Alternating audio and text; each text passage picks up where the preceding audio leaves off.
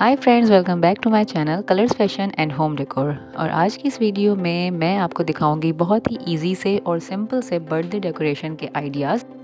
छोटे बच्चों की बर्थडे में सबसे ज़्यादा एक्साइटमेंट इसी चीज़ की होती है कि डेकोरेशन किस तरह की की जाएगी और कलरफुल बैलून्स कलरफुल रिबन्स के साथ किस तरह से डेकोरेशन करेंगे और अगर सिंपल आइडियाज़ मिल जाएँ डेकोरेशन के लिए तो बहुत ही ज़्यादा आसानी हो जाती है।